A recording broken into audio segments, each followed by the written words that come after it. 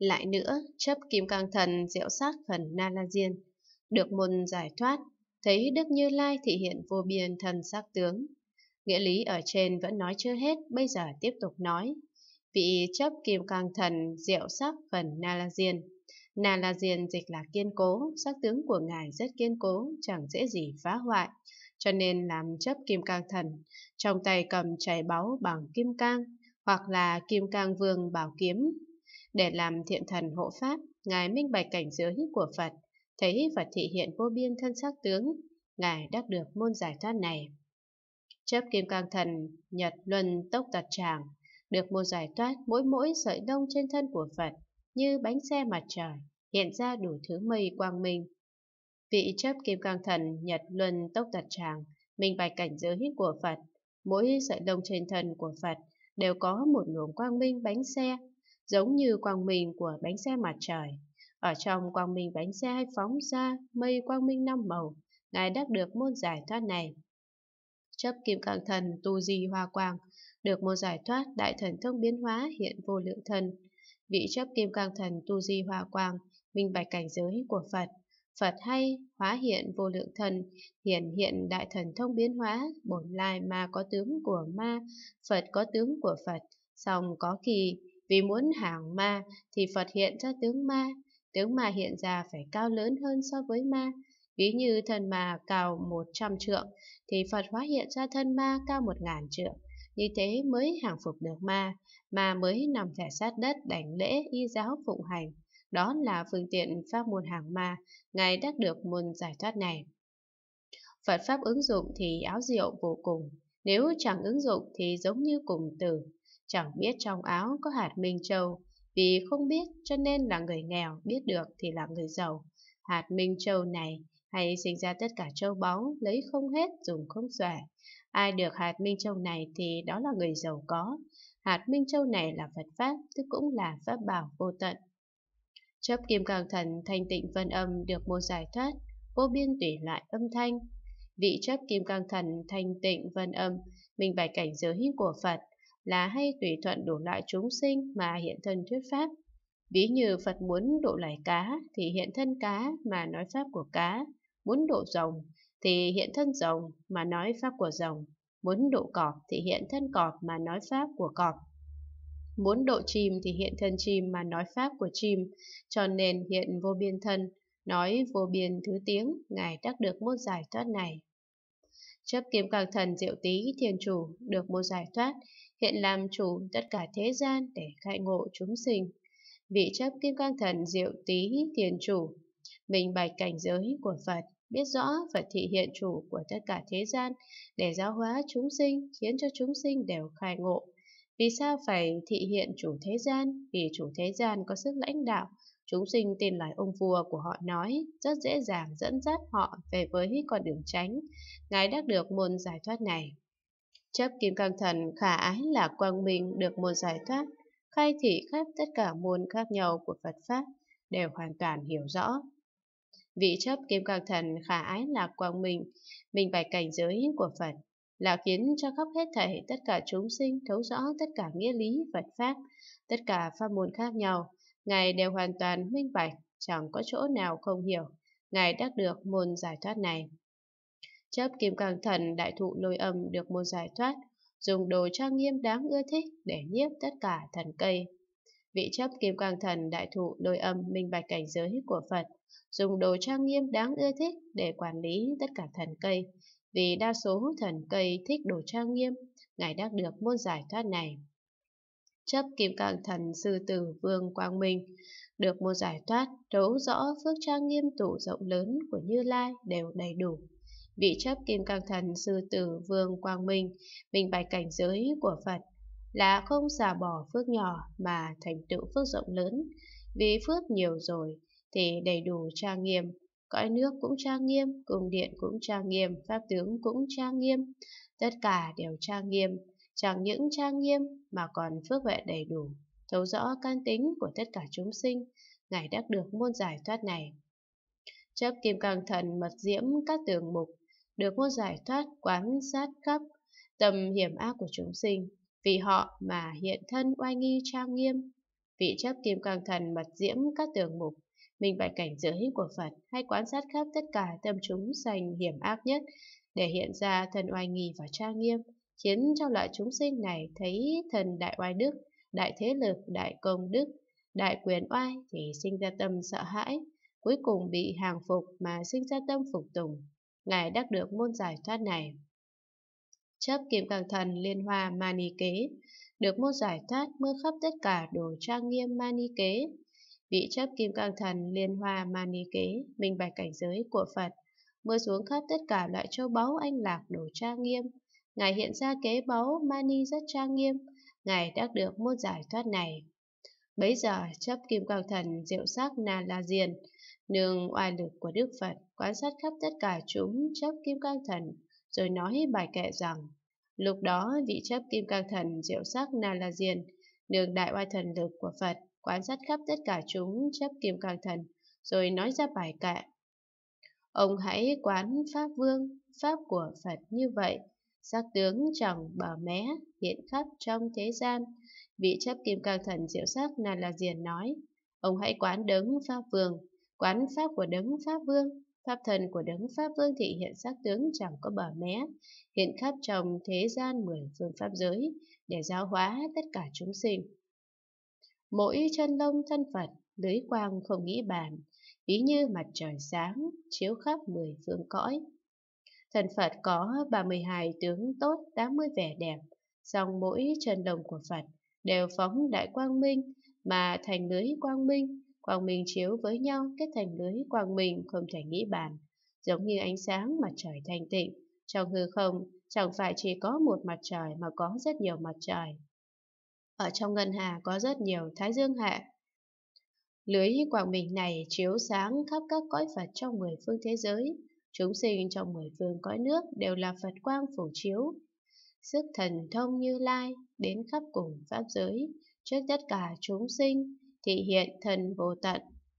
Đại oai thần lực của Phật tận hư không khắp Pháp giới, đến khắp cùng hết thảy, tất cả chúng sinh trong Pháp giới, đều thấy Phật hiện ra ở trước họ mà thuyết pháp. Vì chúng sinh là vô tận vô lượng cho nên Phật hiện thân cũng vô tận vô lượng, dùng thân vô tận để độ vô lượng chúng sinh. Tiếng Như Lai thuyết pháp, mười phương đều nghe khắp, tùy các loại chúng sinh đều khiến tâm đầy đủ. Vì thân của Phật là khắp cùng Pháp giới, cho nên tiếng của Phật cũng khắp cùng Pháp giới. Diệu âm của Phật nói Pháp, chúng sinh trong mười phương Pháp giới đều nghe được, tùy theo mỗi loài chúng sinh đều đắc được pháp hỷ dùng mãn, khiến cho tâm mãn, ý túc, đều hoan hỷ, y pháp phụng hành. Chúng thấy đấng mâu ni trong cùng điện nơi đời, khắp vì các quần sinh mà xiển dương pháp lớn. Hết thảy chúng sinh đều thấy Phật Thích Ca Mâu Ni ở trong cung điện thế gian giảng kinh thuyết pháp, khắp vì tất cả chúng sinh xiển minh Phật Pháp tuyên dương quang đại. Biển Pháp đều chảy mãi, tất cả nghĩa khác biệt, đủ thứ môn phương tiện, diễn nói chẳng cùng tận. Pháp có 8 vạn 4 ngàn pháp môn dùng đủ thứ pháp phương tiện để tuyên nói giống như nước chảy mãi, nói phen này rồi phen khác, nói rõ đạo lý khác nhau, dùng đủ thứ một phương tiện để diễn nói, đủ thứ nghĩa lý vô tận. Vô biên đại phương tiện, ứng khắp mười phương cõi, gặp quang minh của Phật, tất thấy thần như lai, dùng vô lượng vô biên đại phương tiện pháp môn, ứng hóa khắp chúng sinh trong mười phương cõi nước, khiến cho họ nghe được tiếng của Phật nói Pháp, hoặc gặp quang minh thanh tịnh của Phật, thì đều thấy được thân tướng tốt trang nghiêm của Phật. Cúng dường các đức Phật, như số bụi ước cõi, công đức như hư không, chỗ chiêm ngưỡng tất cả. Phật Thích Ca Mâu Ni tại nhân địa tu hành thì phát nguyện muốn cúng dường tất cả chư Phật mười phương ba đời và cõi nước chư Phật, số đó vô lượng vô biên như hạt bụi, Phật đều cúng dường, do đó công đức rộng lớn như hư không, cho nên tất cả chúng sinh đều chiêm ngưỡng Phật, hâm mộ Phật, cung kính Phật, lễ lạy Phật. Sức thần thông bình đẳng, tất cả cõi đều hiện, an tọa diệu đạo tràng, hiện pháp trước chúng sinh.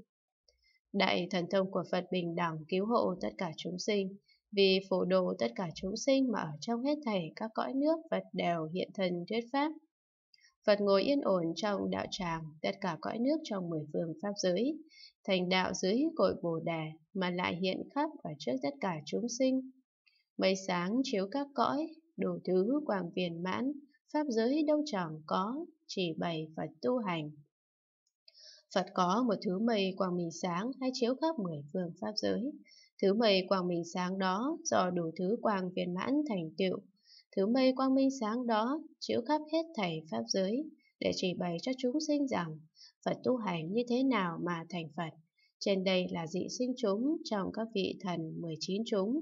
Bây giờ đã giải thích xong. Dưới đây bắt đầu giải thích về pháp môn sở đắc của 21 vị Đại Bồ Tát trong đồng sinh chúng. Học Phật Pháp phải biết rõ tính quan trọng của Phật Pháp. Nếu không nhận thức rõ ràng hoặc chẳng hiểu biết triệt đề, thì không thể nào lãng lãng thực thực mà tu hành. Không tu hành thì chẳng có sở đắc cũng chẳng có trí huệ. Người có trí huệ thì không thể ở chỗ đèn tối, người ngu si thì không thể ở chỗ ánh sáng. Tại sao? Vì người ngu si ở chỗ đen tối thì không cảm thấy rằng đen tối, do đó tập quán thành tự nhiên, Xong người có trí huệ biết đen tối là không đúng cho nên phải tìm chỗ có ánh sáng mà ở. Ánh sáng thì chẳng có tâm sân hận, đen tối thì có tâm sân hận. Cho nên tránh đại quang minh tức là tâm địa quang minh, chẳng có đen tối chứa ngại. Người tu đạo phải luôn luôn hồi quang phản chiếu, tức cũng là phản tỉnh những gì mình làm mỗi ngày. Rằng có hợp với giới luật chăng, hợp thì khỏi, không hợp thì sửa đổi, luôn luôn quản thúc mình, đừng làm cho mình niệm niệm sinh ngu si, mà phải niệm niệm sinh trí huệ.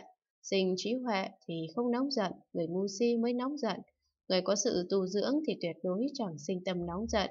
Người có hàm dưỡng công phu thì sẽ khiến cho người tự nhiên sinh tâm cung kính. Học Phật Pháp phải ngày càng thông minh, đừng ngày càng ngu si. Về điểm này hãy nên nhớ, nên luôn luôn chú ý. Nếu bị người mắng thì không nên mắng lại người. Đó mới là công phu nhẫn nhục thật sự, tức cũng là có định lực. Chẳng những đối đãi với huynh đệ phải hòa khí, mà đối đãi với đồ đệ đồ điệt cũng phải hòa mục, đừng bao giờ sinh nóng giận. Cổ đức có nói lửa vô minh, thần cọp, đây là gốc tội nghiệp kiếp trước. Tất nhiên biết có gốc tội nghiệp, hãy bứng gốc tội nghiệp lên, nếu không thì sẽ biến thành đại chướng ngại cho sự tu đạo không thể tăng trưởng căn lành. Người tu đạo Bất cứ gặp cảnh nghịch như thế nào đều phải thuận thọ, đừng động lửa trong gan, đừng sinh nóng giận. Ở trong chứng đạo ca của Đại sư Vĩnh Gia có nói, Quán lời ác là công đức, đó là thiện tri thức của ta. Đừng vì sự phỉ báng mà khởi oán thân, đó là vô sinh từ nhẫn lực. Đại ý nói là nếu có người mắng bạn thì đó là công đức, người mắng bạn tức là thiện tri thức của bạn, họ trợ giúp bạn tăng trưởng công đức, Họ trợ giúp bạn tu đạo, đừng vì họ phỉ báng mà khởi tâm sân hận, nên sinh tâm từ bi, do đó có câu, người xuất gia dùng từ bi làm gốc, phương tiện làm cửa. Làm thế nào chứng minh có tâm từ bi? Có người đến mắng bạn, có người đánh bạn, thậm chí có người giết bạn. Đó là thử thách định lực của bạn có đủ hay không. Người có định lực thì chẳng động tâm, tức là không nóng giận. Bây giờ tôi nhớ lại lúc tôi ở tại Tam Phan Thị, San Francisco, lúc đó chỉ có mình tôi ở đó, chẳng có ai trợ giúp, do đó mới mời một vị Pháp Sư từ Đài Loan đến, hy vọng ông ta giúp tôi hoàng dương Phật Pháp. Tôi nhờ luật sư làm giấy tờ để bảo lãnh ông ta đến Mỹ. Sau khi ông ta nhận được giấy nhập cảnh, bèn đi các nơi hóa duyên. Có được nhiều tiền rồi, ông ta bỏ kế hoạch đi Mỹ. Một năm sau giấy tờ đã bỏ hết, lại muốn đi Mỹ tôi lại nhờ luật sư để làm giấy tờ nữa. Trước sau hai lần làm giấy tờ tốn khoảng hơn 800 đô la. Ban đầu ông ta muốn thành tâm hợp tác vì Phật giáo cống hiến một phần sức lực. Thật không ngờ chưa đầy một tháng thì đã hoàn toàn thay đổi. Hàng ngày ông ta đi đến hội Phật giáo khác, bí mật ký ước với người ta, muốn rời bỏ giảng đường của tôi. Lúc đó tôi đã biết nội tình, một ngày nọ sau khi làm lễ buổi tối xong, khi đó có năm sáu vị cư sĩ cũng ở đó, có một nhóm người mang ông ta đến. Ông ta nổi giận lôi đình dùng cây đao, đao mang từ Đài Loan đến, dài khoảng một thước, chỉ vào bụng của tôi nói, tôi muốn giết ông. Lúc đó tôi nhắm mắt lại như nhập định, tầm nghĩ nếu tôi kiếp trước đã giết ông thì đời này nhất định ông sẽ giết tôi. Đó là nhân quả, cho nên thái độ của tôi rất bình tĩnh, không sao, ông cứ tùy tiện. Vị Pháp Sư đó la lên nói, đừng nhắm mắt, tại sao ông không nói? Một mặt thì chửi, một mặt dùng đao để uy hiếp. Trải qua ba ngày như thế, chẳng những mắng chửi mà còn muốn giết người. Ba ngày sau, ông ta thấy tôi chẳng có chút phản ứng gì, mới dọn đến hội Phật giáo mà ông ta đã ký ước để ở. Chưa đến một tháng, chịu khổ không được, bèn yêu cầu muốn trở lại. Tôi nói, hoan nghênh ông trở lại. Tôi đem giảng đường đó cho ông ta vô điều kiện. Tôi muốn đến nơi khác để ở. Ông ta chẳng dám nhận, cho nên trở về Đài Loan. Bây giờ nghe nói, ông ta điếc và mắc nhiều thứ bệnh tật. Người tu đạo mà bị người ta mắng chửi đó là thử thách định lực của bạn như thế nào. Người có định lực được người ta khen cũng chẳng mừng, bị người phỉ báng cũng chẳng giận, đó là cảnh giới tám gió thổi không lay động. Hãy xem những lời mắng chửi như tiếng ca hát để thưởng thức hoặc coi như tiếng ngoại quốc nghe chẳng hiểu. Có cùng phù như thế thì tự nhiên sẽ hóa đao nhọn thành ngọc lụa, có việc biến thành không việc. Người tu đạo tức là nhẫn nhục, không được cũng phải nhẫn, chịu không được cũng phải chịu. Nhẫn được chịu được đó là có định lực. Không nhẫn được không chịu được thì chẳng có định lực. Định lực tu như thế nào? Trước hết phải giữ giới, giữ giới thì không làm ác, ngừa việc quấy, tức cũng là không làm các việc ác, làm các việc lành. Giữ giới thì phải thường kiểm thảo mình, phải làm việc thiện, đừng làm việc ác. Đối với thế giới có công thì đừng ngại hãy tiếp tục làm. Còn đối với thế giới có lỗi thì lập tức hối cải. Như thế thì sẽ sinh ra định lực. Sinh ra định lực rồi thì còn phải trải qua sự thử thách. Nếu có người đến chửi bạn hoặc đánh bạn mà bạn như như không lay động, đến cảnh giới không người không ta thì mới cho rằng là có định lực. Do đó có câu, tất cả là thử thách, xem thử bạn làm sao trước mắt mà chẳng hay phải luyện lại từ đầu. Người tu đạo không thể chướng ngại những người khác phát tâm bồ đề, nhất là không thể khiến cho người khác sinh đạo tâm thối lùi. Nếu có những tư tưởng như thế thì mình tu đạo cũng chẳng có sự thành tựu. Bất cứ ai muốn phát bồ đề tâm thì nên trợ giúp họ, thành tựu họ, không nên phá hoại họ, khiến cho họ sinh tâm thối lùi. Nếu như thế thì chắc chắn sẽ đọa địa ngục. Giữ giới phải thành tịnh, phải từ bi, phải cung kính, phải hòa khí, do đó cần có tinh thần lục hòa. Người tu đạo lấy lục hòa làm tiêu chuẩn, mới là người giữ giới luật. Lục hòa là gì? Một, thân hòa đồng trụ. Mọi người ở chung với nhau, tu với nhau, nghiên cứu với nhau, không được nói chỗ này chỉ có tôi, chẳng có bạn, càng chẳng có ai khác. Không được từ sáng đến tối đấu tranh với sự huỳnh đệ, hoặc bạn đồng tu bằng thân khẩu ý, thứ tư tưởng này không nên tồn tại. Nếu có tình hình như thế, thì hãy mau sửa đổi, không thể chỉ biết có mình mà không biết có người khác. Ngược lại dùng thế lực địa vị để đè nén bức bách người, khiến cho họ phải phục tùng. Như thế càng không thể được. Nếu đè nén bức bách người khác, thì đừng nói đến thân hòa đồng trụ. 2. Khẩu hòa vô tranh, không được dùng miệng để tranh luận, dùng miệng để đấu tranh, đều cho rằng mình là đúng còn người khác là sai, đó là biểu hiện miệng chẳng hòa hợp. Người tu đạo phải tu tam muội không tranh, miệng hòa, tức là chẳng tranh luận. Nếu có hàm dưỡng công phu thì mọi người nhất định cung kính nhau như khách. 3. Ý hòa đồng duyệt Ý niệm của bạn phải hòa hợp với ý niệm của người khác.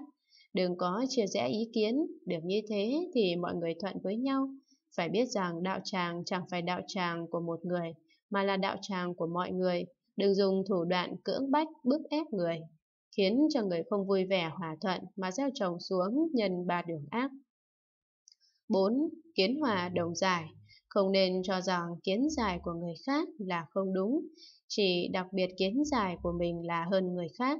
Tư tưởng như thế không chấp nhận được, phải minh bạch kiến giải của mọi người mới có thể thực hành, tức là phục tùng ý kiến của đa số, không độc tài, không được chuyên chế. 5. Giới hòa đồng tu, giới luật mọi người đều giữ, giống như luật pháp quốc gia, ai ai cũng phải giữ, Không được nói giới này là bạn giữ, chứ chẳng phải tôi giữ. Những người có tư tưởng như thế là thứ bại hoại ở trong Phật giáo. Mọi người nên cùng trừ khử trùng sư tử, khiến cho cửa Phật thanh tịnh. 6. Lợi hòa, đồng quân. Tất cả lợi ích, mọi người nên cùng nhau chia đều, không thể chỉ một người có. Một người có đó là chẳng quân bình. Người xưa có nói, bất hoạn quả, nhi hoạn bất quân, nghĩa là không quân bình thì sẽ than oán, nếu đồng đều thì chẳng có lời oán trách.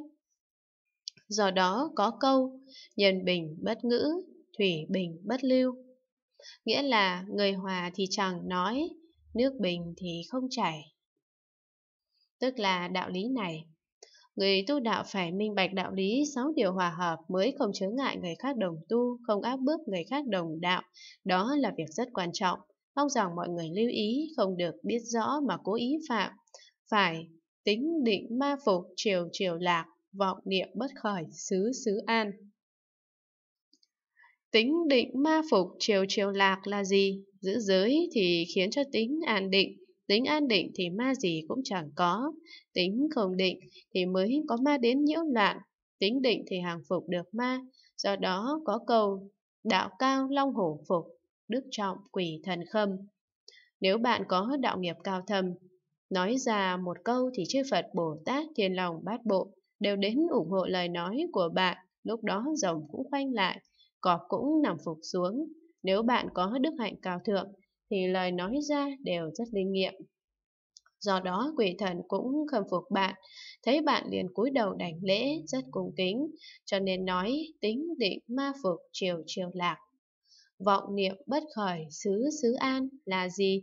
Nếu tâm của bạn khởi vọng tưởng, thì bất cứ đi đến đâu cũng chẳng được bình an, cũng chẳng được cát tường. Người có vọng tưởng tức là tham tâm bất túc, đứng núi này trông núi nọ cao, đến núi nọ rồi thì thấy núi khác cao hơn. Đó là biểu hiện lòng tham của con người, giống như tầm tham của người làm ruộng. Mùa xuân gieo xuống ít hạt giống mà muốn mùa thu thu hoạch dồi dào.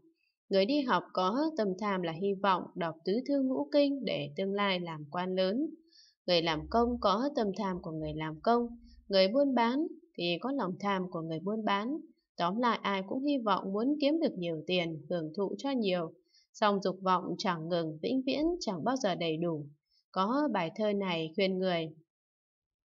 Suốt ngày bận giận chỉ vì cơm, được cơm no rồi lại nghĩ áo.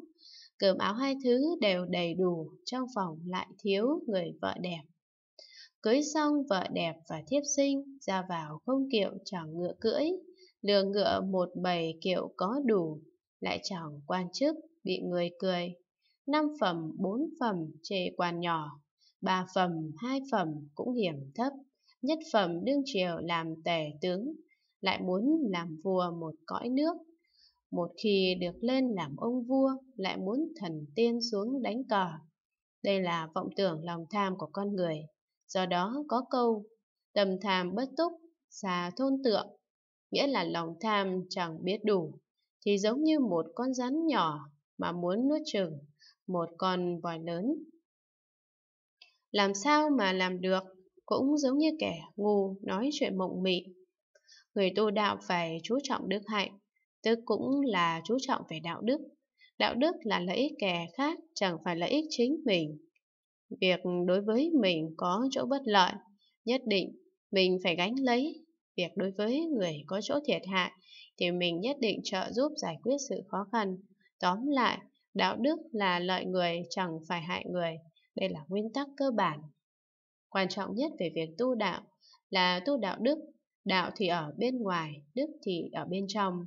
Tài bồi đạo bên ngoài tức là tu tất cả đạo. Ở bên ngoài có đạo rồi, thì bên trong cảm thấy rất khoái là có đức nơi tâm, thì gọi là đức hạnh.